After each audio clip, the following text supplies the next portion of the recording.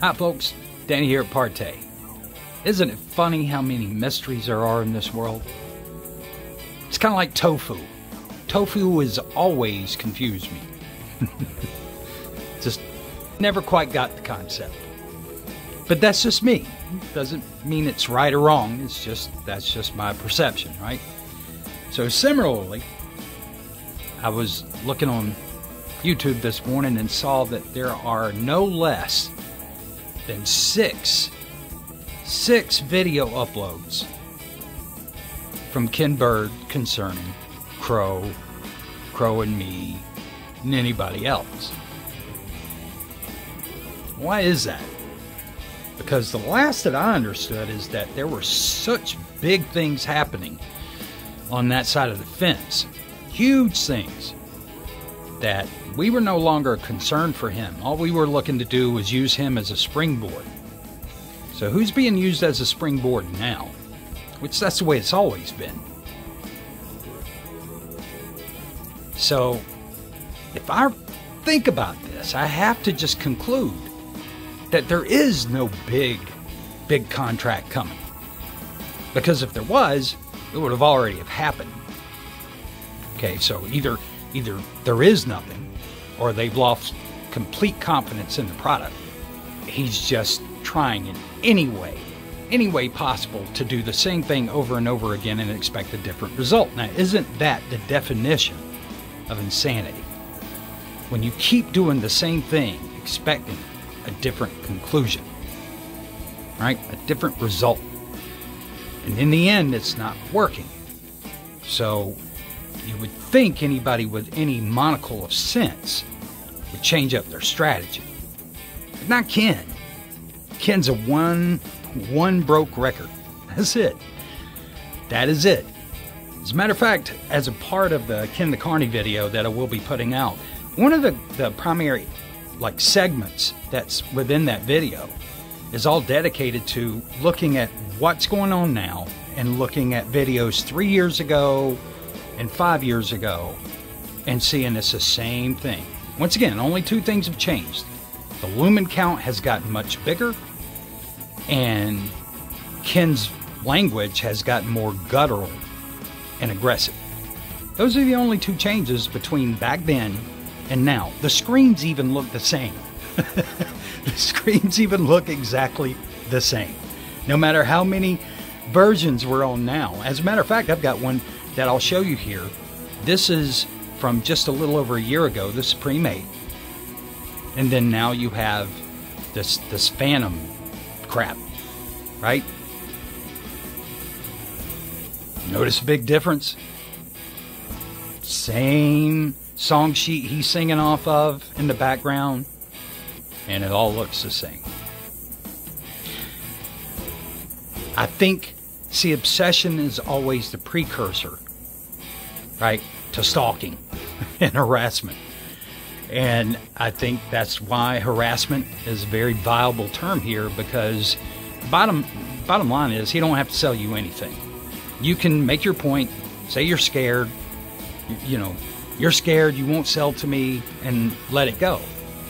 But no, it's not good enough for him. He's looking for something else that I don't even think he knows what he's looking for because he's not going to get there. And in the process, he's done some really bad explanation around patents. Let me just clarify this for you. A provisional patent is the same as seeking patent pending.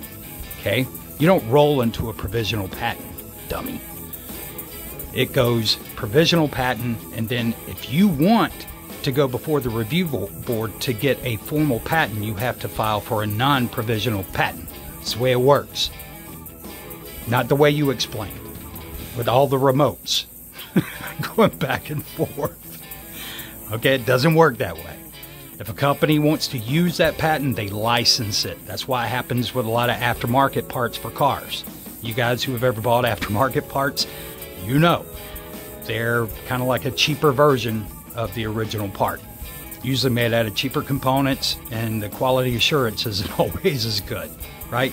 But those are, they license the patents from the original patent holder and then sell aftermarket parts. That's the way that works. It's not reverse engineering, okay? not the way it goes. If you reverse engineer something and you even put it out there and it's close to the original patent, you're going to be screwed. So, don't know what even the point that you were trying to make with that whole description was, but it just never quite got there. But that's just like your screens. You have to fake them because they'll never quite get there. It's like faking the big O. All right. But here's what I'm, I'm going to let you in on a little secret as to what we're doing. So I'm going to have this playing in the background, and what you're going to see is a new addition to our lineup. So that'll give us six screens total, and that's where we're going to stay for quite some time. But we'll have six screens total. And this new addition, I'm showing you just what it can hold up to. Now I want you to pay attention when I show you the uh, light meter because that light meter is in times 10. So just to summarize for you so you don't have to try to figure it out, Ken, that is over 3,000 lux. 3,000 lux, not hundreds. 3,000 lux on the screen. And you can see I move it around so people can see I didn't capture some sort of peak reading. It's changing as I move it. Going anywhere from about 2800 to 2900 to 3200. All right? 3200 lumens, or lux, excuse me. Anywhere from 2800 lux to 3200 lux is what that screen was showing. It's what's hitting the surface of the screen, not a table, not the floor, but the screen surface. And you're still able to pull up that image using a 3000 lumen projector from about 13 and a half feet away. 3000 lumen projector in eco. And just for any of those, because I had this this guy named uh, Jacob Adams, I believe was his name, had reached out. Crowy referred to you and I as butt buddies, which I find kind of offensive, not for being you, Crow, but because my uh, fourth pe- favorite person in the world is my brother in law, David, and David's a gay man. It's kind of a nasty thing to put out there, don't you think? Mr. Jacob Adams, with your half lit room and screen that was definitely not Ken's? Yeah. So, but this this is the kind of vile methodologies that Ken and his little cohorts, his little toadies, use. And like I've said, I mean, this is one guy. Okay, it's one guy. And the only reason I mention is because after that statement, you need to be called out. But ultimately, guys, what this is getting to is that you have a guy out here who has always screwed people by rigging his demonstrations,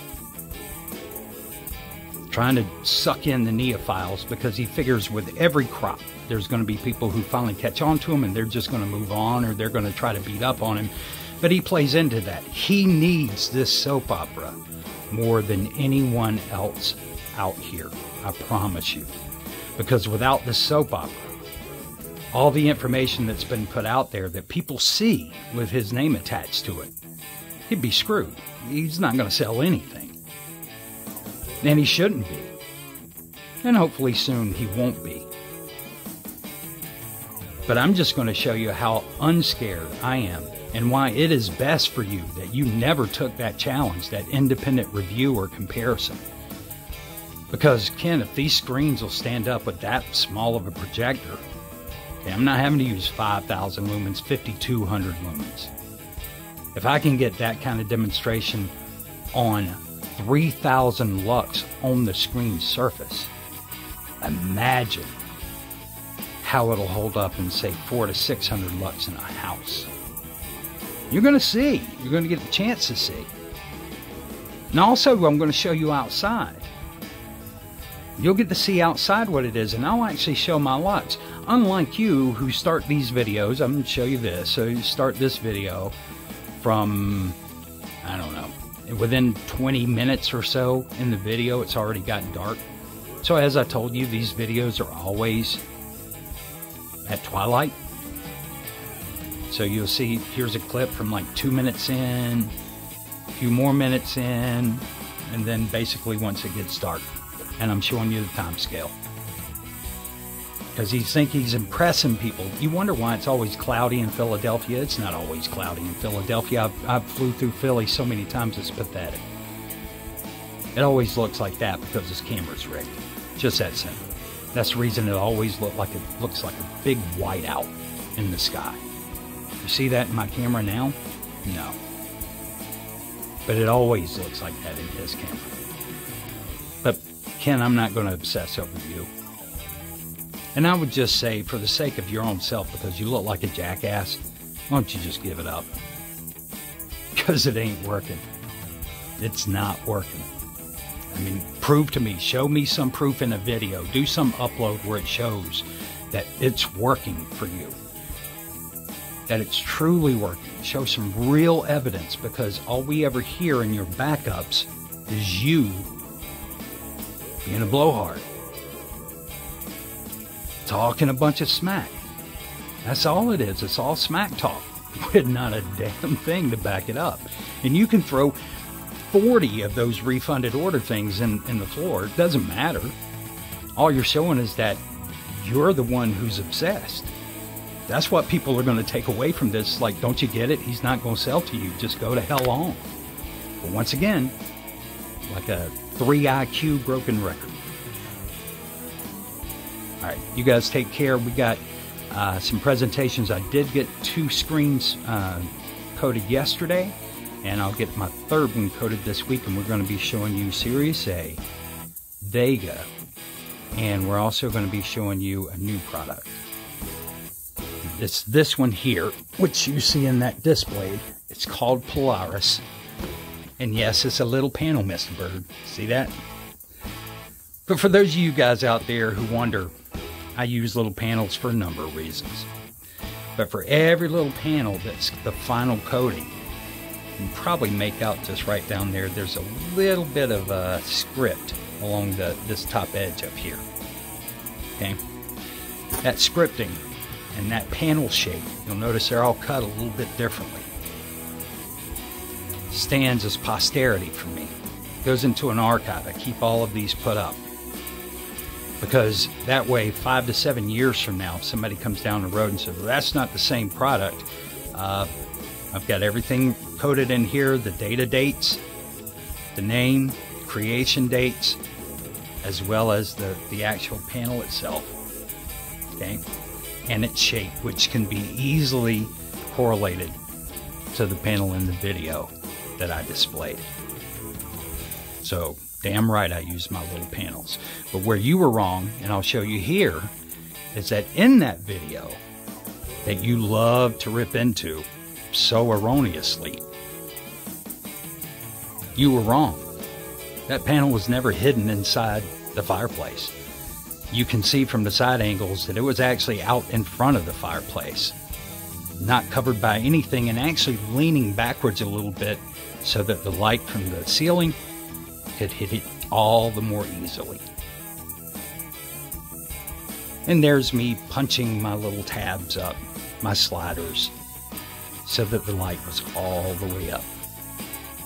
It was all there. It's always been there, just like the video where you say I used Vaseline. There was never any Vaseline. Just more lies from a known liar who's actually having to return a good bit of purchase money because of your lies. I find that hilarious. You guys take care. Bye.